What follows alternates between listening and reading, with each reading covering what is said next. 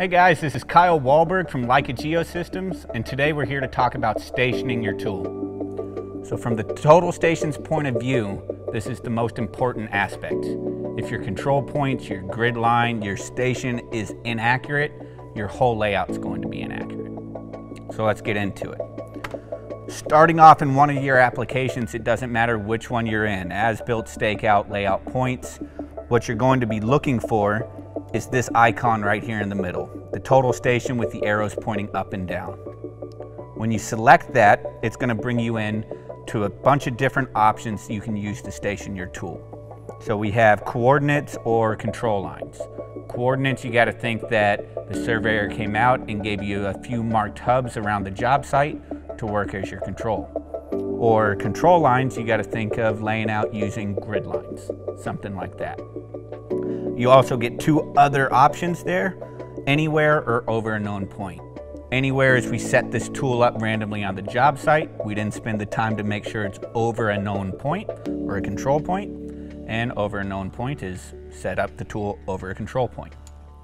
So for this one, I'm gonna show you how to set up using coordinates anywhere.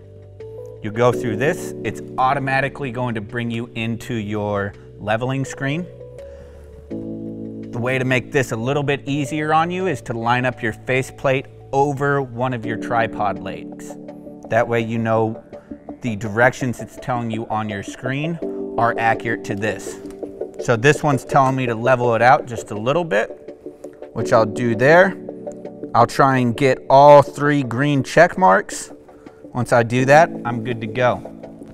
If you can't quite get it to get all three green check marks because the job site you're on, the floor is bouncing, you're up on a deck, something like that, get it as close to center as you can. As long as that bubble's inside the green or the inner circle, you're gonna be good to go. The tool can compensate for it. All right? So once you're done leveling the tool out, hit your next button, which is located on the top right of the screen, that blue dot, and it's gonna bring you into a detail page. This is where if you're doing any elevations, transferring heights, whatever, you can mark out your reflector height. That's the distance from the prism to the ground. And you can also check how often the tool is going to prompt you for double checking your backsight. I usually keep everything on my default. I keep my reflector height at six foot and I keep my uh, prompts for checks every hour. That way every hour it's gonna send me a message saying, hey, double check your control points, make sure you're still accurate, and I'm good to move from there.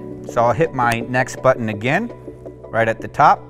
And at this point, if you haven't already connected your total station to the prism, this is when you do it. So top center, you'll see a prism icon. Go ahead and click that, and you can hit the move and search button. The move and search button, if you hit either one of these fan buttons to the side, it's gonna cause your total station to spin around. Now what this is doing is it's searching within 30 degrees of this optic here, and as long as your prism is within that, you're good to go. You'll notice the tool, I'm within the 30 degrees, it's already locked on. But because I'm so close to it, it may not like it because it has to turn its whole face. But once you're locked on, it's time to follow the directions at the top right. This time it's telling me to select and measure my first control point. So on the map, I'm gonna find my first control point. I'm going to tap on it, it'll highlight it. Then I'll actually walk over to it. I'm gonna place this, this field rod directly over my point.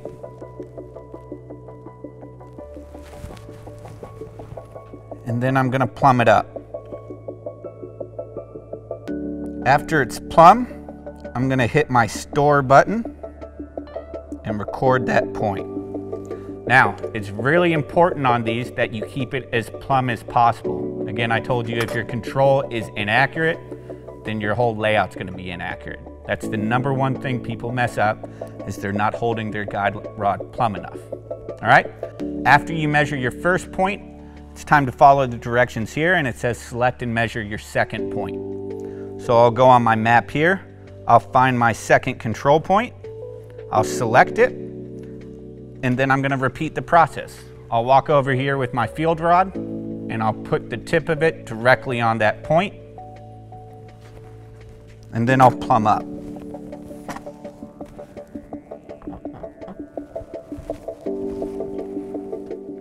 Again, I'm being very careful and making sure I'm as plumb as possible. Hit the store button. And I'm gonna repeat this process with as many control points as I can physically get to. The more control points you can hit, the more accurate you're going to be. What you'll notice is once you hit enough control points, two or more, it opens up a new button here. You'll see a green ribbon icon. If I tap that, it actually lets me see how accurate I was when selecting those control points. So for instance, on this one, it tells me I'm a 16th and an eighth off. Those are outside my tolerance. I can deselect one of them and move on. However, if I need them, first step I'm gonna do is go back and remeasure it and double check my plumb, make sure I'm still being accurate. If it's still outside of my tolerance, then I'm just gonna deselect it because there's a problem with that control point. It's been kicked, run over, moved, laid out inaccurately, any of those. After all my controls good to go, I'm gonna hit my final green check at the bottom. The tool's gonna pop up and say your station has been established and now we're good to start laying out or moving on for whatever the next step is gonna be. Again, I'm Kyle Wahlberg with Leica Geosystems and I'll see you at the next video.